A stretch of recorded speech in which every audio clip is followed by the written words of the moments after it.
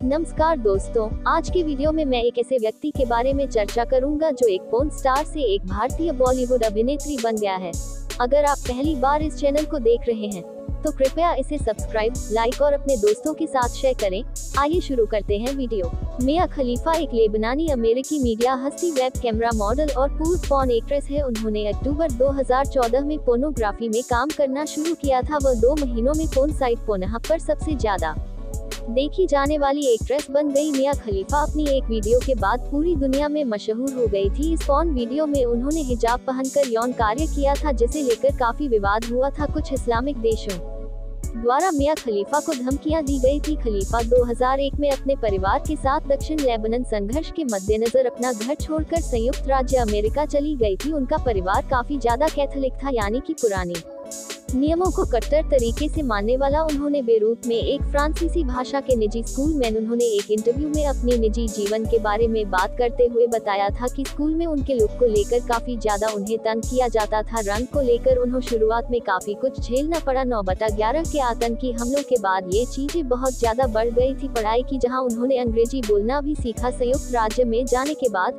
वह मोन्टगोमरी county, Maryland में रही और हाई स्कूल की पढ़ाई की उन्होंने वुडस्टॉक, वर्जीनिया में मैसनुटे इंडियन मिलिट्री अकादमी में एडमिशन लिया और बाद में इतिहास में बीए किया।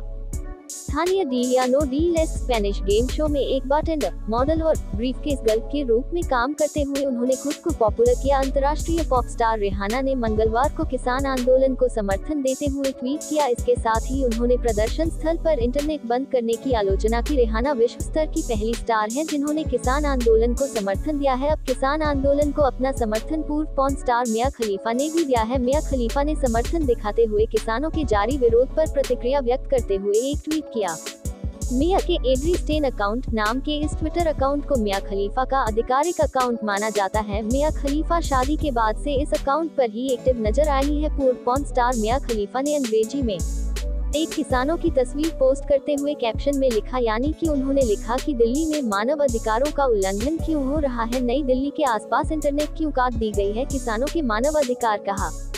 है, मिया खलीफा के इस ट्वीट के बाद से ही वह सोशल मीडिया पर ट्रेंड कर रही है। उनका ये ट्वीट काफ़ी ट्रोल किया जा रहा है और इस पर काफ़ी मीम भी बन रहे हैं। लगातार ट्रोल होने के कुछ घंटों बाद मिया खलीफा ने किसानों के समर्थन में एक और ट्वीट करते हुए ट्रोलर्स को जवाब दिया है। मिया खलीफा ने अपने ऊपर लगे उन आरोपों को खारिज किया जिसमें उन पर आरोप लगाए गए कि उन्होंने किसानों का समर्थन पैसे लेकर किया है। उन्होंने एक व्यंगात्मक ट्वीट करते हुए लिखा कि ये कोई फ़िल्म नहीं है जिसमें पैसे लेकर समर्थन किया जाए। हम किसानों के साथ खड़े हैं।